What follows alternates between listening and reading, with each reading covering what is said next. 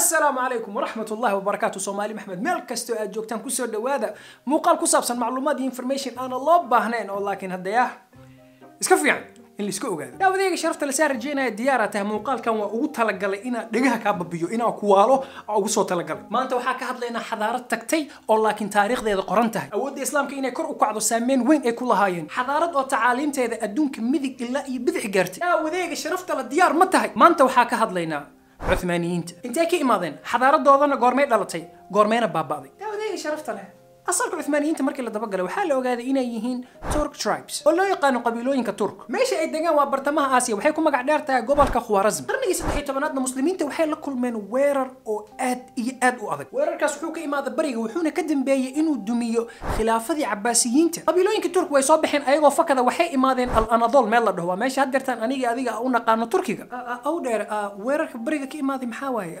Maada sheegin. Ma bilowda waa bilowday weerarkii bariga ka imaada waxay ahaayeen dad la dhaho manguuliyiinta waxaana hogaaminayay boos la dhaho jenkins khan. Qabiilooyinkii turk qabiilad ka mid ah oo la dhaho qaayi waxaa hogaamiye u ahaa nin boos ah oo asagana caan ah oo la dhaho artuqul dadka filmaanta turkiga fiirsada ninkaas si fiican ay u yaqaanaan. Wuxuu la xiriiray sultaan cala oo asagana ahaa suldaanka dowladda asalaajiq ama si loo yaqaano seljuks oo markaas haystay anadol wuuna soo dhoweeyey wuuna dejiyey. Artuqul iyo sultaan cala addiin labadooda waxay sameeyeen isbahaysi. Si ay uga hortagaan manguuliyiinta wayna ku guulaysteen kadib markay guulaysteen artuqul waxaa laga dhigay amiir waana la soo dhoweeyey asagii qabiilkiisoo dhan لكن كل ربع قل سديتني سديدي أرطغل وجيري وذي الله ونحرشت. لكن وحاج يقع عنقي عثمان أو مركز حكم كل ورقة ما أنت وحي كدم بين إنا مرح بنا أنا ربنا. ما ربنا إنا سلاج قضاء هوس إمان. رول أو وين نويس كخب سدين لا وذي شرفت لك كل صدح بقول ماشي سوحا كده لطي وقرتو يد عثمانيين ت وحنا عن أهمرك الدولة لطو إنا يبلارتو أي وينات. وحي كدولة لولك إلا هايين. إمبراطورية البيزنطين إمبراطورية البيزنطين مركز آدي آدي ضعيف وها تبر حتى عملهين عثمان مركو أذيو بويل كيسي أرخان آسي وذا لول قبس الشذي لا وذي شرفت لك dhulba dhul suu u qabsanayay al anadol oo dhan uu qabsaday. Wuxuuna maray webiga dardaniil ilaa uu gaaro macedonia. Albaabka yurub uu soo hor istaagay. Daawadayga sharafta leh. Orkhaan militariga uu dhisay wuxuu ahaa militari nidaamsan oo awood fiican leh. Militari oo bahalnimada lagu yaqaano wuxuu qabsaday magaalada dhaho adirna wuxuuna ka dhigay magaalo madaxdii ugu horreysay ay leeyihiin cusmaaniyiinta. Iyo qaacidad ay ka baxaan militariga weeraraya yurub wuxuu qabsaday serbiya iyo bulgaariya boqortooyadii bizantiyiintan wuxuu ku kalifay inay bixiyaan jizyada. Laakiin allah u naxariista wuxuu geeriyooda ayagoo go'doomin ku haya magaalo madaxda bulgaria sofia. Xukunkii dowladda iyo mas'uuliyaddeeda waxaa qaaday bayaziid weerarka gariiga asaga dhanba horuu ka soo gebagabeeyey. Boqortooyada bizantiyiintan waxay lahaayeen oo dhan waa lagala wareegay aana ka hayn magaalo madaxdooda. Constantinople daawadayga sharafta le waxaasoo awood iyo karti yurub way ka cabsiisay kun saddex boqol sagaashan iyo lixdiina waxay diyaariyeen militari aad iyo aad u weyn. Oo hogaamiye u ahaa madaxweynaha hungary sajesmand laakiin bayaziid wuu ka awood badiyey wuuna ka guulaystay iska hor imaadkii nicopolis. Laakiin ma uusan dhammaystirin ku dhaqaaqa yurub dhex u istaagay. Ow dheer maxaa istaajiye ninka gaariga uu watima awladii ka dhamaatay asbaabta ku kaliftay inay istaagaan daawadayga sharafta le haddana waxaa laga soo weerara barigii laakiin markaan cadowga soo weeraro cadow kalu ahaa waxay ahaayeen tataarta waxaana hogaamiye u ahaa taymor link waxayna soo gaareen ilaa iyo xuduudda boqortooyada cusmaaniyiinta. Wax kastoo aysid waa joojinaysaa marba haddii xuduuddaada la soo gaaro. Subrayskii ugu weynaa kun afar boqol konton iyo labadii iska hor imaadkii ankara. Cuthmaaniyiintii waa laga badiyey بأ يزيد نوال لحري سي عذابا عذابه لو عذابه ين نفتي يا كبح. الله نحرشت تيمور لينك مركو بدي واسكلابتي وحونا كتي دولدي أو غدها كدنسن أو مو قد قشي. لكن الحمد لله قرح مر لباضي صوبح دو مركو ماضي مراد ذا سكند أو اسمها الدولد ده هوس كسو بلاب. مسارد اي قال لنا وي كسو كبسدين إنتو دول أو لغا قبسدنا آسيا اي يوروب وي عشتين. ايغو كو دواقايان هل هيسك آه من كان له ماض لا بد أن يعود إليه. كنا فر بقله فرتني افرتني وحو كبدي ميليتري ككوبن هنجري اي بولن وحونا هنغري في لاتسلاك وحونا عيري إلا إيا وبيغا دانيوبة ما شاء الله تبارك الله. داود إيه شرفت له.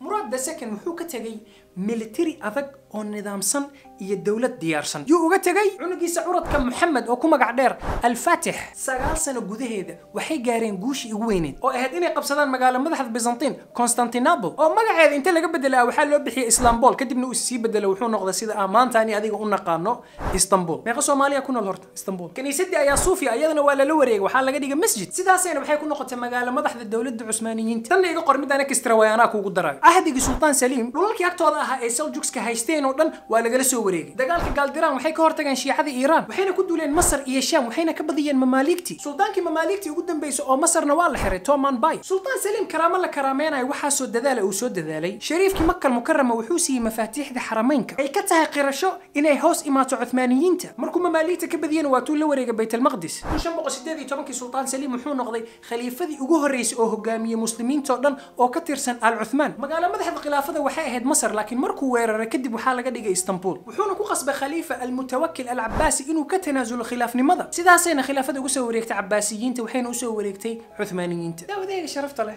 markasta ay familkaygii dhahaan wax guurso saa ilmo u dhashid oo magacaaga kor u qaado waa la yaabi jiray. Waa inaad dhashaa wiil oo sameeya wax aada adiga weliga aada samaynin. Xoog miya laakiin gadaalaa ka fahmay inay wax jiro tahay. Sida sultaan saliim wiilkiisa curadka as-sultaan sulaymaan alqanuuni ee yurub oo dhan u taqaano the great solomon. Markuu asaga xukunka la wareegay dowladdu waxay gaartay meeshii ugu sarraysay militarigiisii uu dhaqaajiyey wuxuu u gudbay yurub. Wuxuu weeraray magaalo madaxda serbiya belgrad wuxuuna qabsaday jasiirad la dhaho rhodes. Dagaalo aad iyo aad u dhaadheerna wuxuu la galay boqortooyada hungary. Ilaa uu ka badiyey kun shan boqol labaatan iyo lixdii hor imaadkii mohaj. Wuxuuna u sii gudbay boqortooyada austria oo markaas madaxweyne ka ahaa ferdinand. Magaalo madaxdooda vienna albaabadeeduu garaacay. Laakiin vienna ma sahlanayn danti waxay keentay sultaan suleymaan inuu isbahaysi la sameeyo boqorka faransiiska francis the first. Si u weeraro talyaaniga. Isbahaysigaas way ka faa'iideen. Dhowr magaalo oo talyaaniga ay dagaalo ka dhaceenna way ku badiyeen. Laakiin natiijo fiican way gaari waayeen sababtoo ah boqorka faransiiska hadalkiisa wuu ka noqday. Wuxuu bilaabay inuu cacabsado daawadeega sharafta lasaa wada ognahay cuthmaaniyiintii waxay lahaayeen awoodda ugu adkeed oo ah maraakiibta naval. Waxayna caan ku ahaayeen kabtankooda khayraddiin barbaros oo gacanta ku dhiga xeebaha waqooyiga africa iyo qaybo ka tirsan spain iyo venice wuxuuna hayay badweynta mediterranean waa badda dhexe. Intii u dhexaysa kun lix boqol sideetan iyo saddexdii ilaa iyo kun sideed boqol labaatan iyo toddobadii xukunka waxaa soo maray shan iyo toban suldaan. Oo iskugu soo gabagabowda dhul qabsasho awood cusubna way soo baxday sida ruushka iyo austria taasna waxay halis ku ahayd xuduudda dowladda. Qarnigii sagaal iyo tobanaad xaalka dowladda cuthmaaniyiinta intuu xumaaday neynaastooda waxay ahayd the sick man of europe ninka xanuunsan ee yurub iyo dhowr kacaan oo markaas barakacay oo ahaa diimeed iyo qowmiyadeed sida kacaanka griiga iyo xarakada wahaabiyiinta. Markaasna waxaa soo baxay maxamed cali baasha oo la wareegay masar iyo shaam oo ka hortagay boqortooyada cusmaaniyiinta oo isku dayay xataa inuu tago ilaa iyo magaalo madaxda. Ruushka waxay la wareegeen dhowr dhul oo ku yaalo bariga asia. Waatayna dagaal kula jireen austria iyo hungary iyo bulgaria. Dhulal aad iyo aad u badanaa lagala wareegay. Markaasna waxaa bilowday inay soo baxaan wax la dhaho turkism. Waa qowmiyadda turkiga iyo qowmiyado kale ay ka mid yihiin carab iyo armen iyo sharkis ayagoo dhanna waxay ka wada siman yihiin inay ka wada go'aan dowladda cusmaaniyiinta ah. Mararkaasna waxay ahayd markay yuhuudda isku dayayeen فلسطين كقطان عثمانيين تا سلطان عبد الحميد ده سكن بقول كيف بقول وكسه هرجيد يا حركات ها قومية أو مركز أساس أصبح أو كفافي مؤسسة ده الدولة ده. أنا لو ريكت ميليتري مركز عثمانيين تا مقع كلية إسكا آه هاي ما هي. هوس والي غلو ريجي تاو ذي شرفت لك كل سقال بقول أفري تومان كدن تحت وحي كوك لفتين قال أنت قال كأدونك كوي اقرب استغنايا جرمال كي أوستري. إي كسه هرجيد حلو فضي. إنجليزكي فرنسيسكي يروشك قال كيساس وكل ما دو عثمانيين تنسيدي اللي وذب ذي حلو فضي نوحي سوق لين دلكي أي قال الله سعدان كوي جريج أها. مركز وامركو صوب حياتليها عيدا كم mustafa kamaal ataturk oo hogaamiye u ahaa dagaalka xulufadiina banaanka u saaray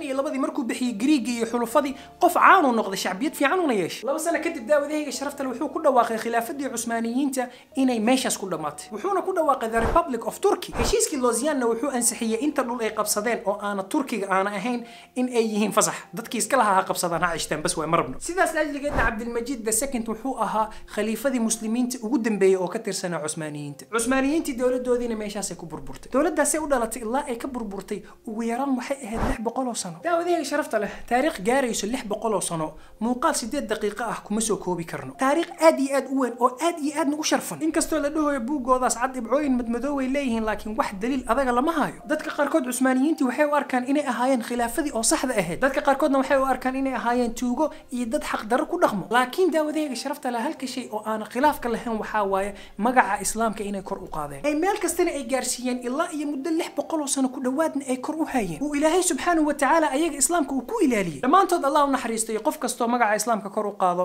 oona garab istaago muslimiintoo dhan ayayadeyda sharafta leh oo sugaysa inaa inta guursada ilmo dhalo say magacayga kor ugu qaadaan waxaa ku leeyahay xabiib sharaf heestiisa inta daaratid gadaal isku kala bixi waxyar adigoo dhahayo gadaalanka gartee ugu dambeyntii daawadayga sharafta leh meeshaana kusoo gabagabeynaya haddaa janalka ku cusub tahay gambaleelka furo muuqaalka wiiga soo socdo si uusan kuu dhaafin haddaa hore u joogtina sharciga waa taqaanaa muuqaalkan waa inaan laba kun oo lag كارسينا معلومات كما يشلك كينان وين أقري سام سوري تقولي كم سلانت داو ذيك شرفت. لا ديكو سلانت أنا دغوان نغانو إيش كسر دك دقيسة والله يورني دغون مداش مية مداش مية هديكو سو مرتين أنا كوكو مفقعش بس. سلام عليكم.